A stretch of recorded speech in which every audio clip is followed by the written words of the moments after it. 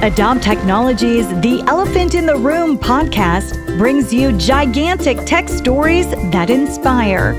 These are creators, innovators, and change makers.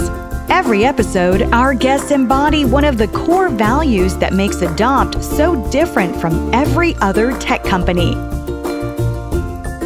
Much like an elephant, guests on this show are emotionally intelligent and ready to make a gigantic impact on the world. This is the Elephant in the Room podcast. I'm Carey Pena. Thanks so much for being here, everyone. I am in studio today with Brett Helgeson, who is the CEO and managing partner of Adopt Technologies here in Phoenix. Brett, thanks for being in studio. Hey, Carey, thanks so much. Happy Episode to be here. Episode number one of your podcast. Let's dive right in. I want to I want to share with the audience why it was important for you to launch this podcast and what stories are you hoping to share? Well, I think in general, we just really wanted to be able to get out to the world and the community and, and spread the word on a lot of wonderful professions and, and individuals in the technical world. Uh, we wanted to basically get people involved that can share their stories and, and share a little bit about their technology industry experience as well as, as other interesting stories. Um, and hopefully, you know, inform people as well as bring some insight and, and even maybe inspire some individuals to try out technology as a profession or try new things in their life? The mission is uh, big tech ideas and people in the world of tech who are doing important and innovative things with a special focus on diversity and inclusion. Let's let's talk about that for a second because I know that's really important to you in particular as your company continues to grow. Absolutely. Well, one thing that I've always believed is that it, I, I want to be one of the least intelligent individuals in the room. And in my experience, surrounding yourself with a lot of talented individuals, which from my perspective comes in all sizes, shapes, colors, and forms, it's really important to make sure that you have a diverse set of insights, feedback, different ways of looking at things. And there's no better way to do that than to have a diverse set of backgrounds, races, genders surrounding you. And so, whether it be in the boardroom, whether it be on your team, it's always interesting to me how there are different perspectives that really help spawn creativity when you're looking at it, whether it's a business challenge or a, or some sort of a strategy or a decision personally or professionally, just to have that insight and sounding board that's going to bring out something different than what you may be thinking is to me what diversity and inclusion is all about. Obviously, there's an acceptance component as well, just simply being non judgmental, right? Everybody's going to have a different opinion on things, different belief sets. Um, and in many cases, to me, that's where I learn the most. Your company is getting a, a lot of publicity. Uh, you're a very humble person, but I'll brag on you for a second myself. So, uh, best management consulting firm, uh, Forbes magazine, most admired companies, AZ Big Media, Inc. 5000 fastest growing companies. It goes on and on. You're getting a, an award for being, you know, one of the top level CEOs, most admired how are you making this magic happen and, and tell people a little bit more about what you're doing over there at Adopt? I guess the bigger question is how is our incredible team making the magic happen? I mean, obviously, it all starts with team. Anybody um, that's a quality leader will tell you that. Uh, we are really blessed to have a lot of people that have bought into the vision. Um, they understand who we are, what we do, how we take care of our clients. And as a result of that, you know, good things will come. I'm a massive believer that if you focus on a couple primary things, our vision is being a destination employer and a destination IT partner. And in order to accomplish that, you just have to do so many things right on so many levels that if you focus on on accomplishing that, great things are going to come. We really focus on just helping the small and medium sized business uh, not have to worry about IT. So we become their outsourced IT partner. We handle everything from high level CIO consultation all the way down through the tactical support their end users, take care of computers and things of that nature. But the core of our business is really focused on cloud hosting. And honestly, we were a pioneer in that. I mean, from an MSP perspective, we had our own cloud platform in 2009. Um, and a lot of our clients that have been with us for a long time can definitely say they were earlier adopters of hosted solutions. Um, but genuinely, we want to become an outsourced IT department that feels like we're internal. That's really the goal. We want to make sure we're working with our clients and their teams and they don't feel like we're an external party at all. How did you get started? How did you begin to build this? So my I am a uh, construction professional by trade. Uh, that's that's what I grew up doing for a portion of my uh, young career while I was in college, and that's what my degree is in. Had a construction business, and I was actually a client of Adopt Technologies prior to purchasing it in 2012. Can you tell a few stories from the pandemic? Because I understand in some of our uh, pre-production meetings, I was told that you were able to help some small businesses who are very fearful of what would happen to them through the pandemic, being able to afford your services to keep the, themselves up and running, that others kind of stepped in to help. It, we've been so blessed with the business ecosystem that we've created with our clients. We actually had many clients that were doing very well, um, both in a cash from a cash position as well as from business operations, and they had some spare cash. We're willing to pay for multiple months of service up front um, to give us some cash flow flexibility to then come alongside some of those clients that were really struggling and had been significantly impacted by um, regulatory shutdowns. So I just can't imagine being in a position as a business owner where you have all the capability to perform business, deliver service to your clients, and an outside entity says you can no longer do that um, those are the situations when you see these folks that have put their blood, sweat, and tears, life earnings, and savings into building a business and employing people, and now they're hanging by a thread. And in those situations, that's when we can come in and demonstrate the value of a partnership with Adopt Technologies beyond IT services. One of the objectives of this podcast is to have guests on, as I mentioned earlier, who can inspire us within the tech world. And I know that it's important for you to have guests who sort of share your core values. Talk about the core values of Adopt Technologies.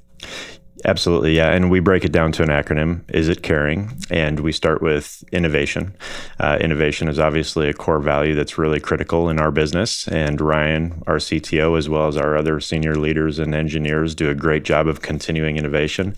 Um, security minded, same thing with the cyber threat landscape. We have to be that for our clients. Um, integrity, obviously, any business, you have to have good integrity in order to be successful.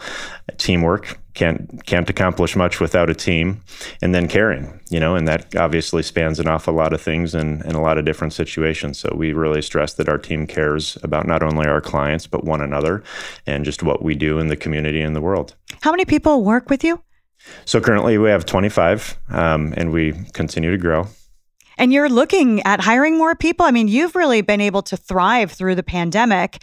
And I know you're planning on hitting the ground running even faster come 2022. Absolutely. Well, just like with our client retention, we've been really blessed to have phenomenal employee retention as well. And a lot of that is really tied to allowing people to put their thumbprint on our organization by having say in what we do and recommending changes and how we could do things better and and and actually helping us evolve as an organization by bringing their skill sets and knowledge. Um, but overall, boy, right now it's it's a challenging time with talent, and um, we really hope if anybody out there knows good quality technicians or other folks that just want to work for a great company, please come talk to me. Go to our website. So, what are what are the biggest uh, tech issues that you think business owners may face in 2022? Well, there, there's absolutely no doubt. I mean, the, the security threat lab, landscape, cyber threats. Um, obviously, it's been a hockey stick for many years. The pandemic brought out some changes in that where it escalated even further with all kinds of fraud. Um, so, people clearly see with all of the high level, well known breaches, whether at the government level or private entity level, that it's not an if, it's a when situation. And so the ability to not only proactively protect against that, but then in the event that something bad does happen, being able to actually recover from it those are all really critical things. That's going to be one of the number one things for many years to come, in my opinion. Obviously, that's even compounded when you look at the remote work policies that are in place. Um, it's a whole different set of challenges and circumstances when you look at trying to protect all of those endpoints from all over the place, from from people's homes. Um, so I think that's the number one thing for sure that especially businesses need to focus on at this point in time. What do you tell those small businesses who might be worried that they can't afford to engage a company like yours? I would say they can't afford not to.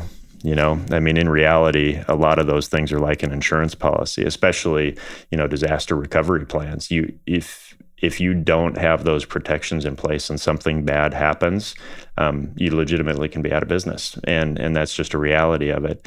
So I think you have to make those investments. Um, anymore, there's so much technology out there that people do understand, and most are starting to see that technology really is an investment in their strategy rather than you know just a a pit of money that they feel like they keep putting money into. But when you look at outsourced partnerships or hosted solutions and things of that nature, the return on the dollar spent is so significant compared to actually going out and hiring an internal IT individual and building infrastructure in house. It really makes a lot of sense to go horizontal and, and engage some partners you trust for those efforts. We are taping right now in Phoenix. Obviously, your company is based here, but you work nationally and perhaps internationally with clients. But with regard to Phoenix, since it's getting so much uh, attention because we're booming here, and that includes the tech landscape, just talk briefly about what you're most excited to see going on here in the world of tech in Phoenix. Yeah, well, in Phoenix, I mean, it's just absolutely amazing what the Arizona Commerce Authority has done and the state leadership has done to attract businesses and talent. Um, obviously, you see so many companies that are moving headquarters here that are starting up here, both international and in, in the U.S. itself. And so I think for me, just for, for Arizona and Phoenix in particular, to be recognized as a place where they can find great talent, there's a great quality of life, it's a great business environment, um, is super exciting. And so when you continue to see these wonderful logos that appear here in Phoenix. It's something that we fully support because we just know that it's going to bring wonderful opportunity for all of us. But and it continues to enhance the culture, the environment, the, you know, the arts, restaurants, everything. When you bring that kind of industry into an, a metropolitan area like Phoenix, it is amazing how much domino effect benefit there is, and really how much diversity and cultural and otherwise that it really brings into the valley, which benefits everyone. Well, speaking of logos, that was perfect segue because I was just going to ask you about uh, your brand. So people who visit your website, adopttechnologies.com, will see a beautiful homepage with an elephant, and it says right there on the homepage, uh, "Grow." Growing up is an adventure. What's with the elephant? you guys are obsessed with elephants. I am too. But talk to the audience about, you know, sort of why this is part of your DNA. Yeah. Well, first and foremost, I love the elephant too. and the great thing is, our team loves the elephant more than I ever thought they would. We have people that buy elephant sculptures and they hand them out. It's really cool. Um, no, so when when we were trying to figure out what iconography we wanted to utilize for Adopt and its logo, um, we landed on what we felt was ultimately very representative of who we are. And we didn't go select an elephant and then try to pack adopt technologies into it. We felt that it really represented who we already were, and that you know, long memory, herd mentality, really smart. Um, protecting one another, staying together. Um, those are all things that we really feel like we demonstrate day in and day out. Um, and it's really interesting. One of the things I, am a huge believer in uh, everything happens for a reason, and that there are signs that validate that those were the right decisions. And literally, the day that I came home after uh, Tony, Ryan, and myself, uh, Craig was involved too. We all made the decision on the elephant. Um, my son my youngest son, who at the time I think was in fourth grade, brought home a paper mache sculpture of an elephant that he had done in class. Wow. And it blew my mind. Yeah. Um, outside of that, you know, Ryan is my partner, is actually from South Africa originally. And so he obviously was very tied to elephants and, and loved them. And he was the one that brought up the idea originally when we were doing a lot of searching, and it was pretty easy to get on board. When people see that with your branding, I, I imagine that's a great conversation starter. Yeah. Absolutely. You know, that one of the interesting things is we we actually gave those out at one of the events that we sponsored a number of years ago. And one of our recently acquired clients, when we were going in to kind of finalize some of the contract and proposal and service discussions, she had the same elephant sitting on her desk behind her. That's so it was nice wonderful. to personalize things, you know, and just to make make make it heart centric. I, I know that that's a, a, big objective of yours. Uh, can you talk a little bit about why the company is named Adopt Technologies? Because this has a special meaning. Yeah. Well, and and there's another great example of how when things happen and you get that validation. But um, when we were going through the branding process, uh, we had thought we were renaming the company after we purchased it, and we had really tried to think through so many names. And it was just an agonizing process. It was like we were trying to fit a, a, round peg into a square hole. And my wife literally looked at me one night and said, What about Adopt Technologies? And I said, that's so perfect. There's no way it's available. And obviously, the reason that's meaning to us is because um, we adopted all three of our children. And then obviously, you have the connotation of, of our clients adopting new technology and things of that nature. It was just too perfect. And it was the first name where domains, trademarks, everything just lined up and cleared the way. And that evening, Adopt Technologies was born. How do you feel about where you're at right now um, as a leader of your company and what you hope to be able to give to the world? Because what we're talking about on this podcast is not just uh, brilliant people coming up with innovative ideas, but how those ideas are used not only to make money, but also for good. And I know that that's important to you.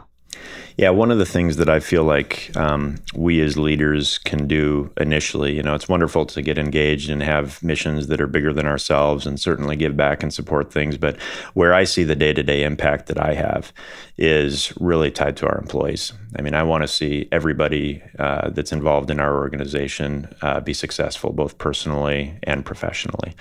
So we really stress that you know there is no challenge personal or otherwise that we can't overcome together. Um, and we feel like we know our team well enough that if there's any type of uh, challenge in their lives that's bringing anxiety or stress you know we can see it. And when those situations arise um, we're not hesitant to check in and see how things are going. And fortunately, we've built a relationship such that people are willing to share. And in those instances, we have an opportunity to make a difference. Um, and so things like that, whether it be providing education, whether it be going out and just making an introduction, I'm a huge believer in uh, the the book The Go Giver and it's one of my favorite books. And i really strongly believe that you know whatever you do and provide to others at some point it'll come back back around. So um, that's one of the biggest things. In the long run I just want to I just want to make a difference and help people, you know, whether that be monetarily or just a nice gesture, you know. We need more love and kindness in the world. Well, that's part of the reason that we're doing this podcast, right? And you wanted to produce this podcast to help share these stories. Um, and we're looking for gigantic tech stories that inspire. It may be someone who's doing something that has not been, um, you know, highly publicized, and it may be other people who are leading the way on a very high profile scale. But we're looking for all of those stories to put good into this ecosystem. And I'm so looking forward to developing this show with you. Before before we sign off, I'd like to just hear from you. And you you talked a little bit about this, but what when you wake up in the morning, what is it that inspires you? Genuinely, when I when I pray at night or in the morning, I want to be able to have the wisdom the foresight, the knowledge, and the taps on the shoulder that cause me to go into action, right? And you never know when one of those words, positive reinforcements or small acts of kindness, can literally change somebody's day, potentially life. And I look back so many times through my life at those moments. Um, and then I've circled back with those individuals, and they have no clue that whatever they did for me that day literally left a lifetime impact on me for the better. Um, so that's kind of how I t- try to approach my day. And uh, maybe there's opportunities some days, maybe there's not on others. But in any event, uh, that's one thing I str- aspire to do. You set your intention somebody. with that, yeah. And as a leader, I mean, now you you have that ability. You have 25 people working with you, and hopefully, as this podcast develops, you'll you'll recruit more talent because you you are looking. But boy, that is a great opportunity to help shape lives. Absolutely it's it's a it's a uh, big responsibility as well. Yeah, thank you so much, Brett. It was great to have you in studio, and we are excited to develop this podcast, "The Elephant in the Room." We're going to tell some great inspirational stories and do some good along the way. We appreciate you being here. Thank you. I'm excited. I'm going to be interested to talk and hear from all these wonderful guests. And Brett's going to be here with us in studio. After each interview, we're going to download with him, heard with Brett, get your take. And also, as the series progresses, you'll be sharing some more tips and insight for people um, that hopefully could be useful, especially for business owners as you continue to protect yourself, your business, and plan for the days, weeks, and years ahead. Thank you, everyone, for listening and for watching. I'm Carey Pena. Korea.